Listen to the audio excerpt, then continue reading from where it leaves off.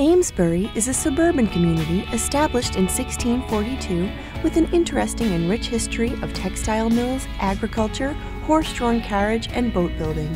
Situated along the picturesque Merrimack River, Amesbury offers marinas, parks, and open spaces and converted industrial buildings.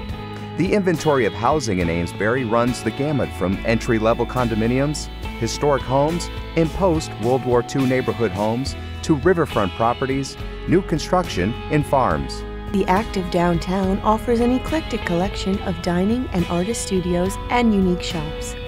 Many recently constructed condos add to this scene. Along the Powwow River, the Mill Yard offers delightful views and walks and is a favorite of locals and visitors alike. Located at the crossroads of 95 and 495, Amesbury is uniquely positioned to give easy access to all points north and south.